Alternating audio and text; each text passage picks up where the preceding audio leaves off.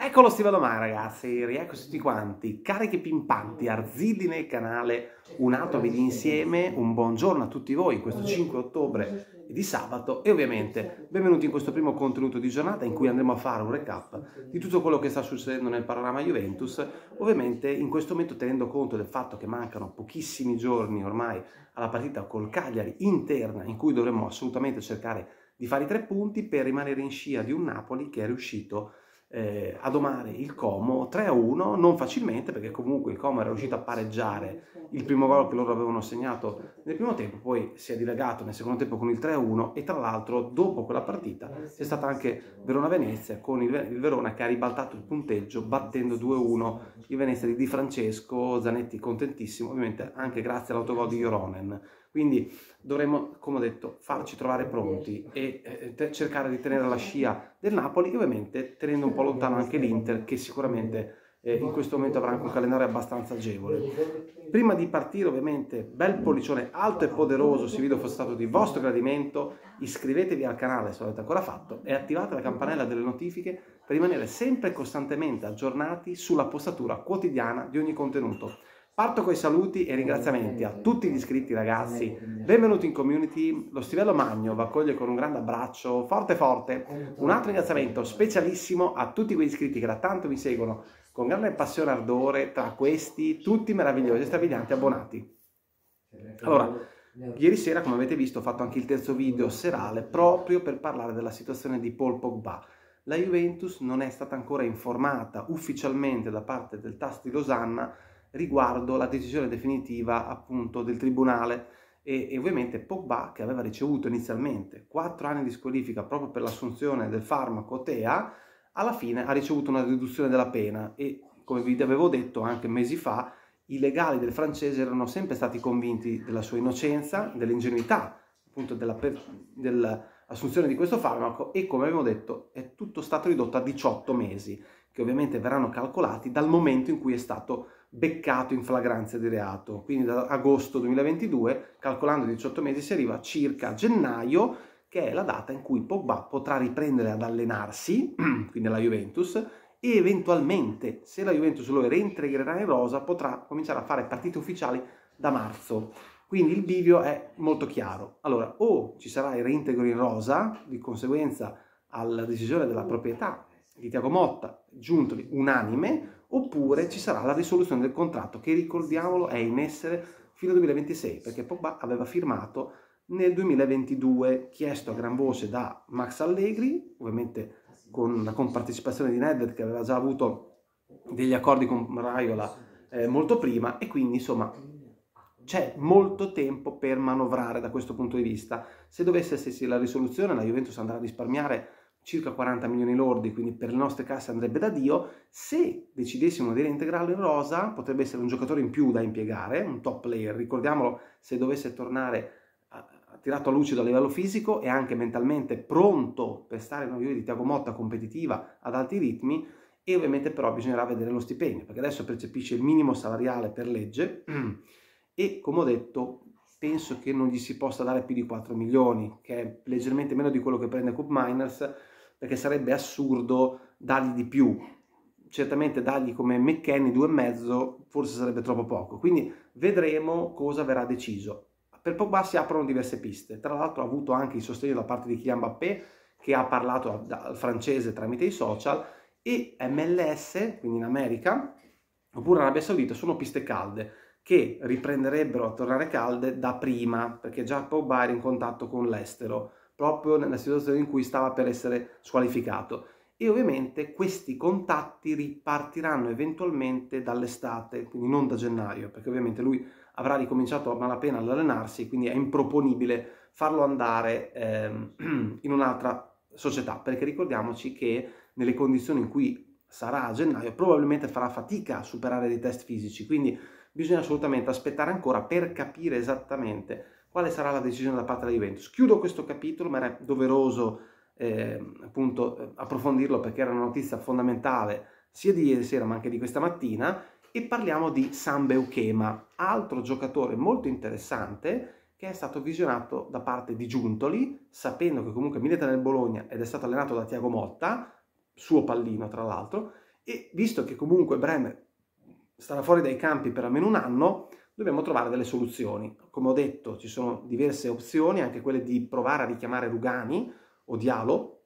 provare a dare fiducia a Felipe Pedro dalla Next Gen, provare a richiamare Muharemovic dal Sassuolo. Abbiamo visto diverse opzioni. Da scartare in questo momento il discorso legato agli svincolati ed ecco perché stanno spuntando altri nomi. Quindi oltre a Della Croix e a Jarel Atto dell'Ajax, è nato questo ragazzo molto interessante che ricordiamolo sta facendo molto bene al Bologna, chiaramente non parliamo di un super top player, ma un giocatore funzionale al gioco di Motta, i due si conoscono molto bene e tra l'altro il valore di mercato non è neanche altissimo, tenendo conto che ha un contratto di scadenza al 2027, quindi altri tre anni, c'è molto margine di manovra sia per il Bologna sia per la Juventus ed è stato acquistato a una cifra veramente irrisoria di 9 milioni più bonus. E ovviamente oltre a questo c'è da tenere conto di una percentuale sulla rivendita eventuale del Bologna di 20%. Quindi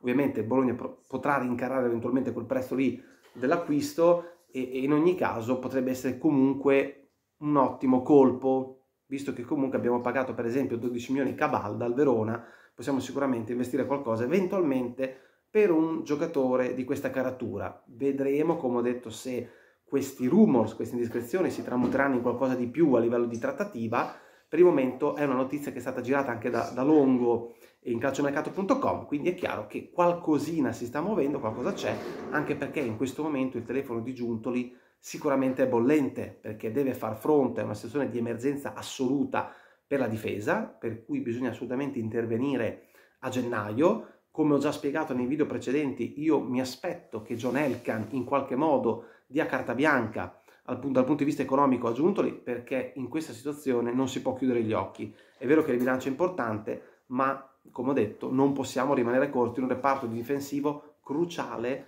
per i successi della Juventus, perché ricordiamolo, Tiago Motta sta costruendo la stagione straordinaria che ha fatto finora sia in Italia, Serie A, che in Champions League, proprio su una difesa solidissima, che per il momento ha preso tre gol, ovviamente su otto partite, però i due li, li consideriamo contro l'Ipsia, che comunque in una partita sola. E tra l'altro bisogna considerare anche il fatto che eravamo in 10 dal 59 fino al 98 99 Quindi è chiaro che è una partita comunque macchiata da alcuni episodi e da un arbitraggio e da una situazione VAR veramente scandalosi. Ecco, quindi ho fatto già anche questa panoramica sulla difesa, ovviamente via via che andremo avanti parlerò anche di altre potenziali situazioni che si creeranno, ma come ho detto, in questo momento fino a gennaio Motta sarà chiamato a fare di Benedicesta Virtù è un mezzo miracolo nel ruotare tutti i giocatori che ha a disposizione, a, insegnando anche alcuni di quelli che non sono propriamente dei centrali a farlo, perché sulla carta Gatti, Calulu ed eventualmente Danilo sono gli unici che di ruolo potrebbero fare il, il centrale. Tra l'altro Danilo negli ultimi tempi era soprattutto un terzino, quindi vediamo un attimo eh, cosa, si, cosa verrà deciso, anche perché per esempio Caval è adattato a centrale, ma è un terzino sinistro perché il suo ruolo principale anche al Verona è stato quello. Chiudiamo parlando anche di un'altra informazione interessante che mi ha rincuorato molto ed è quella che riguarda Nico Gonzalez, che sappiamo benissimo essersi infortunato, non in maniera gravissima, ma in una forma lieve, al dodicesimo minuto del primo tempo in Lipsia Juventus, ancora con risultato di 0-0 e ovviamente è stato sostituito degnamente da Sao, che poi è stato decisivo all'82esimo con un gol straordinario che ha cambiato completamente le sorti del nostro girone di Champions. Quindi, come ho detto, eh, si tratta per il momento, dopo le analisi strumentali da J-Medical, di una lesione di basso grado al retto femorale della coscia destra. Quindi si presume che il suo recupero verrà effettuato soltanto dopo la sosta, quindi dopo queste tre partite, di cui una è Juventus Cagliari, e dovrebbe tornare a disposizione contro l'Inter, gara fondamentale, cruciale, crocevia della stagione in cui dovremo dimostrare di essere superiori anche alla squadra di Milano che comunque insieme a noi e a Napoli in questo momento in cui parliamo siamo i favoriti per lo scudetto. Mi sento di tenere fuori per il momento ancora il Milan perché deve dare ancora dei, dei segnali importanti, così come Lazio, Atalanta e Roma che in questo momento non hanno la caratura, diciamo, per poter in qualche modo impensierirci, anche se sappiamo che l'Atalanta ha sempre delle partenze molto eh, lente e poi piano piano entra in ritmo e regime di campionato. Quindi diciamo che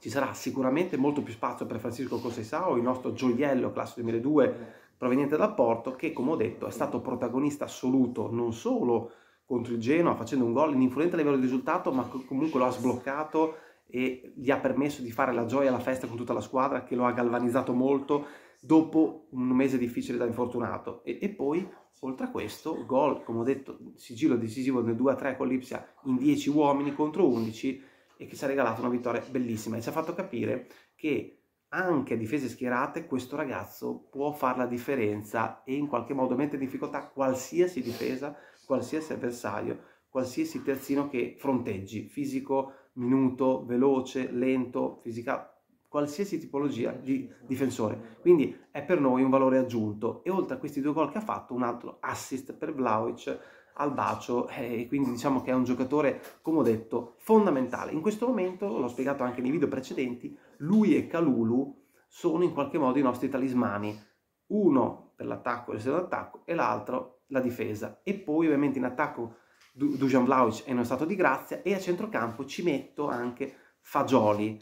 ovviamente senza nulla togliere agli altri, ma in questo momento è quello che forse sta facendo meglio. E un giocatore invece che è un po' appannato, ma secondo me è soltanto un periodo di transizione, perché Thiago Motta gli ha chiesto anche altri compiti durante le partite, è Kenan Ildiz, il nostro classe eh, 2005 turco, prospetto straordinario, che comunque sta ricevendo grandissime pressioni, perché da, su di lui ci sono tante aspettative, in questo momento non sta incidendo, diciamo, in maniera preponderante, ma come ho detto è solo un periodo perché deve in qualche modo anche mh, compartecipare a tante azioni difensive, non solo fare assist e gol, ma in qualche modo in partite molto complicate fare, diciamo, anche un po' di lavoro sporco per Tiago Motta, forse per quello che arriva con meno lucidità là davanti. Ditemi cosa ne pensate, ditemi la vostra qua nei commenti, forza io fino alla fine, a prestissimo.